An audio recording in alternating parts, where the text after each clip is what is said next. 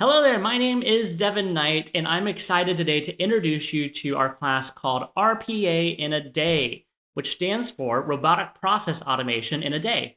It's also known as desktop flows. If you've worked with Power Automate, then you may be familiar with doing cloud flows. Cloud flows are the more traditional mechanism for building out automations with inside of Power Automate and building out flows.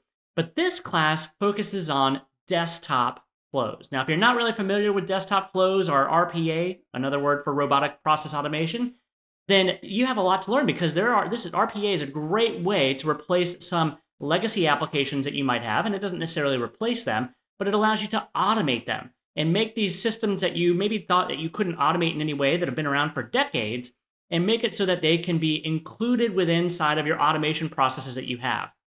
You'll oftentimes tie desktop flows and cloud flows together. They work together and cloud flows help orchestrate things like desktop flows, but you'll use both of these together to be able to build solutions to replace maybe uh, not necessarily again i use the word replace but not necessarily replace but update some of these legacy systems that you have and make it so that you can automate them and bring them into the, the, the, the century right uh, you'll hear the phrase digital transformation that's what rpa is all about trying to transform you into a more digital age get out, of those more analog steps and rpa can certainly help you do that so join us for this rpa in a day class I think you're going to get a lot out of it and take a look at some of our other training classes that we have all around Power Automate as well.